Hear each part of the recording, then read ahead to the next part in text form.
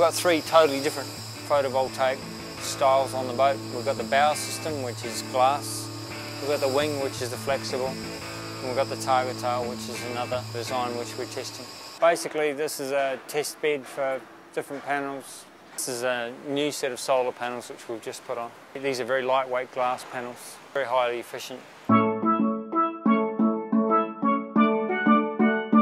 Having solar, the solar's only there for an amount of time. You've got to actually store it because the boat gets parked up for a period of time, so you actually need to take advantage of the fact that the boat's sitting there all day and then you pick it up at five o'clock in the afternoon and you take all that power.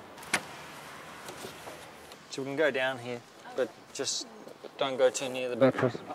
The key to the batteries is storing all the energy from the solar during the day, so you can use it during the night, or providing a buffer when you're actually out to sea. We've got two tons of batteries. We store one ton of batteries on each side. These batteries are particularly good. They're marine rated batteries.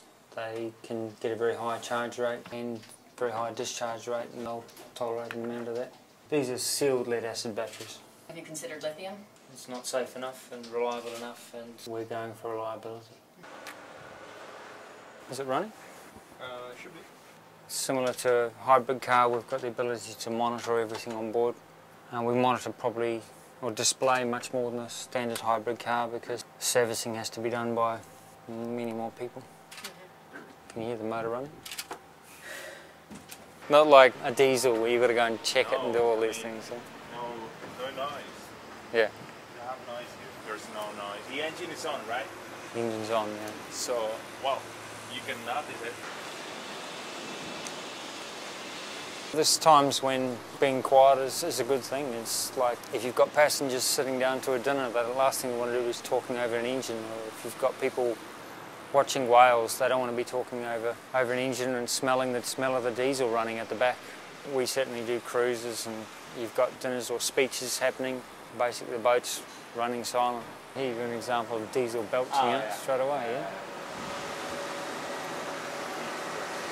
Uh, this is the electric motor, straight out, direct drive. Virtually no noise here. The electric motor is a modified industrial motor and it's been used in industry for many years, almost 100 years. Oh, one of the key things with the boat is reliability. Over the last several years, we've not missed a cruise due to the due to the technical equipment. We have missed a cruise due to um, the main diesel generator being faulty. Can you run the boat on an everyday basis if you want with the sun that you get? With this boat, we've got a backup generator, so the boat's always able to run. During the day, if there's good sunshine, we can operate virtually all day at five or six knots. If we need to run at high speed, we- we start up our generator, run the generator.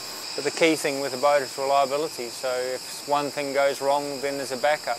And often on top of the backup, there's another backup. In fact, these, these solar panels work as, as uh, solar wings. These are aerofoils, and as an aerofoil, you can actually head at quite an angle into the wind and still get lift, which is pulling the boat forward.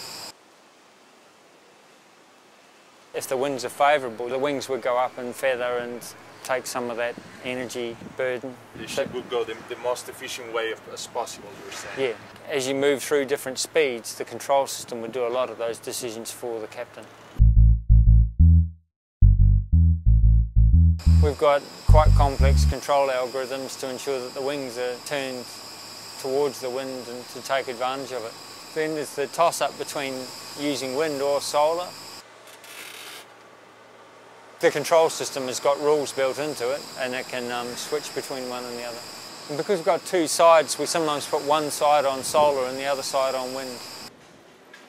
You think this solar technology is a selling point for the boat? If you consider the number of definite interests we're getting, people are basically taking much more interest in. It's going to be an exponential type thing.